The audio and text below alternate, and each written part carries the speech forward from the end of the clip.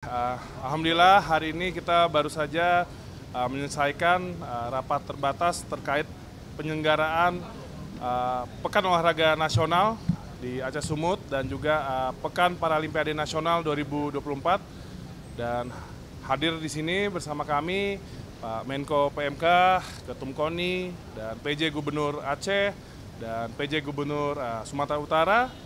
Alhamdulillah tadi sudah mendapatkan uh, perintah yang clear dari Bapak Presiden bahwa penyelenggaraan PON dan juga Peparnas 2024 ini harus tepat waktu dan tidak ada kemunduran.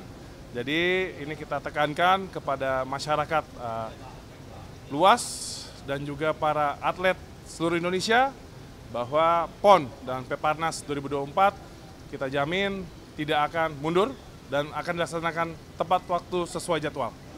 Ya, mungkin silakan jika ada pertanyaan. Ya, uh, untuk uh, PON di Aceh dan Sumut, uh, progres dari uh, venue pembangunan ini ditargetkan di akhir Juli sudah rampung semua dan siap digunakan. Dan juga sekarang juga dalam rangka bagaimana memastikan para kontingen dari seluruh provinsi uh, siap untuk bertanding dan juga diberangkatkan dan juga juga persiapan dari penyelenggaraan nantinya di Aceh dan Sumut untuk PON terkait dengan opening ceremony dan closing ceremony-nya.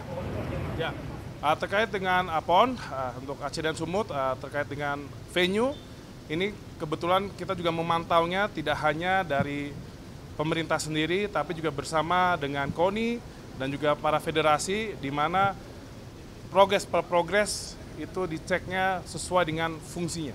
Jadi kita pastikan setelah Juli bisa digunakan, mungkin nanti beberapa cabang olahraga langsung mengadakan tes event sebelum nantinya dipakai untuk perhelatan uh, PON.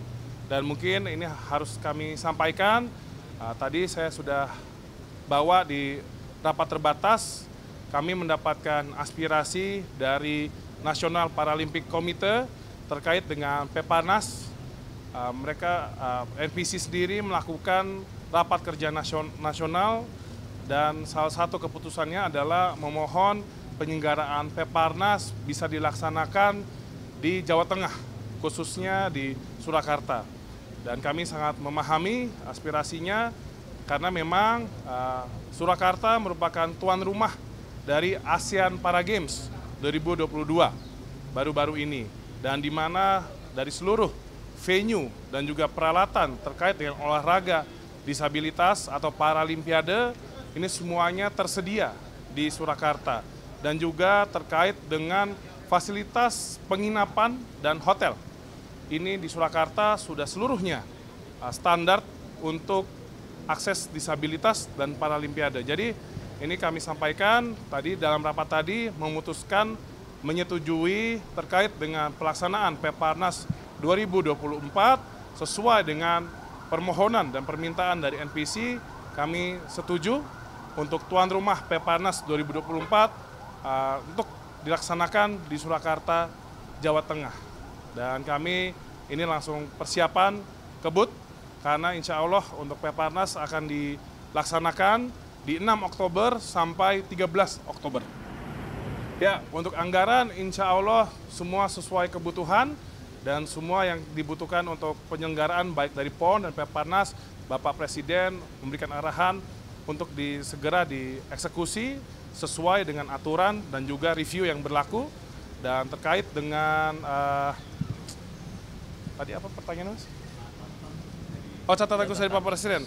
Yang menjadi perhatian dari Bapak Presiden adalah tentunya bagaimana penyelenggaraan PON dan uh, Pepanas ini sukses secara administrasi, sukses secara penyelenggaraan, dan sukses secara prestasi.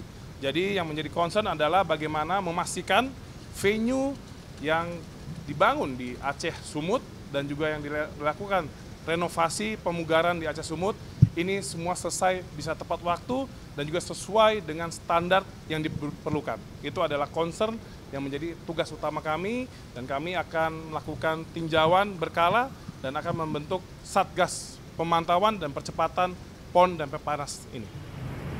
Nah, soal anggaran tadi di siapa ini nominalnya berapa? Pakai APBD atau APBD? Untuk anggaran, ini kombinasi APBN dan APBD. Yang penting bagaimana PON dan Peparas ini sukses dilaksanakan. Ya, pastinya harus kita uh, jelaskan kendala pertama ini merupakan PON dalam sejarah Republik Indonesia yang pertama dilaksanakan di dua provinsi. Jadi pastinya secara uh, koordinasi dan komunikasi pasti akan lebih kompleks. Tapi kendalanya yang paling utama adalah bagaimana memastikan venue yang tadinya belum ada menjadi ada, bagaimana yang merenovasi venue ini semuanya tepat waktu dan tepat standar dan nantinya bisa digunakan PON dan juga pasca PON. Itu yang paling penting. Ya. Pembukaan akan dilakukan di Aceh, uh, penutupan akan dilakukan di Sumut. Begitu juga untuk Pepanas, opening dan closing juga di Surakarta.